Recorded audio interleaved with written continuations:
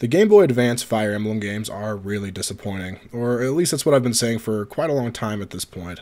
So long, in fact, that I can't really give concrete reasons as to why I dislike the games anymore.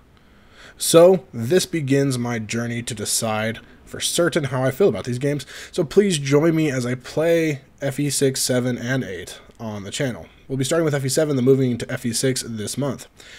Uh, now there's things that I do remember disliking, but I, I, feel like I need to really play the games again to have a, uh, a better feeling on why I dislike these things. And these things that I remember, are like poorly displayed info, you know, not being able to see certain uh, stats very well, or uh, having to move through multiple pages of a uh, unit's status screen to see important things.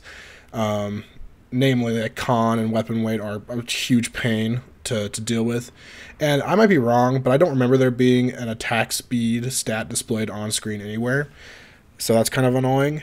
But if that was just displayed somewhere very easily, that would be just like the best and make it super easy for me to not care about and weapon weight as like stats that are on separate screens that I have to like remember and check. Uh, and to my recollection, the maps all fell pretty bland and the story isn't memorable either. I'm not going to be focusing on the story because I know it. I don't really care all that much to read it again. We're going to be skipping that as we play through it on the channel.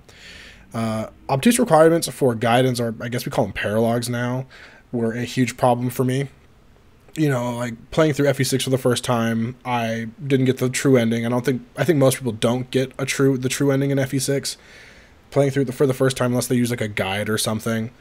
So my first playthrough ended with uh, killing the the pseudo final boss, and you know it's that's cool until you find out that there's a bunch of there's a, a significant extra bit of content after that. Uh, especially that ties up the story if you care for that kind of stuff. So obtuse requirements for gaidens, uh, or again paralogs, I guess we call them now, uh, is a huge uh, turnoff for me.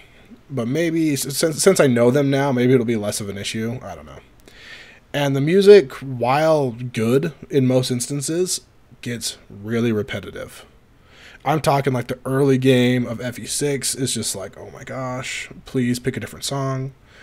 Uh, I, I also think FE8 falls into this problem, and so does, of course, FE7 in, at points. I think FE7 is like the least egregious. I think it switches up the map theme enough for it to be less annoying. The only time that I really get kind of annoyed with the the map theme in FE7 uh, is just uh, Lyn's, Lyn's story, but I don't know. I haven't played Lyn's story in a while, so I don't know. Maybe maybe we'll play Lyn's story on hard mode or something, so we can skip all this tutorial stuff. But I still don't want to play it because it still sucks. I don't know.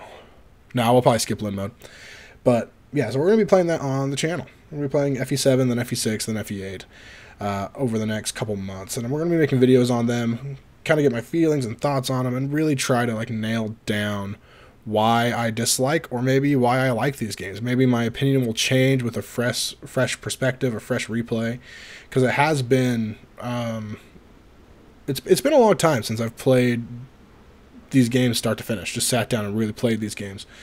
Uh, I, I, tend to find myself playing, you know, uh, Echoes, Fates, Three Houses uh, Path of Radiance and Radiant Dawn, or, or even Genealogy of the Holy War and Thracia 776 a lot more than I do these games. So, yeah, the GBA games, tell me why you like them and the comments. I'd love to hear your thoughts. I know they're really popular with MIDI fans. Uh, so please tell me why you like them in the comments. Maybe tell me why you dislike them. I don't know. Just like give your different perspectives, things that you like, dislike, and we'll talk about them on stream when we play the games. Uh, so I, I, do have a, a new stream schedule that I'm going to uh, do my best to follow from here on out uh, for the foreseeable future at the very least. We'll be streaming um, Tuesdays, Thursdays, and Saturdays at 1 p.m.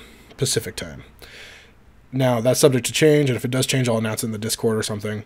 But we should be streaming three days a week, and then the days we don't stream, I'm going to be trying to upload videos. So we're looking at uploads on Sunday, Monday, uh, Wednesday, and Friday.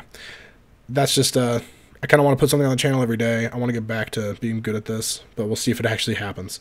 So uh, I'm telling you guys to hopefully maybe keep myself accountable a little bit. Keep me accountable. I don't know. Ping me, ping me in the FED Discord if uh if I don't post things. Yell at me.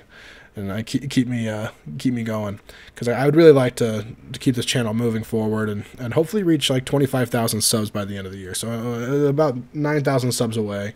If we can get that by the end of 2022, I'd be pretty happy. So that's my goal.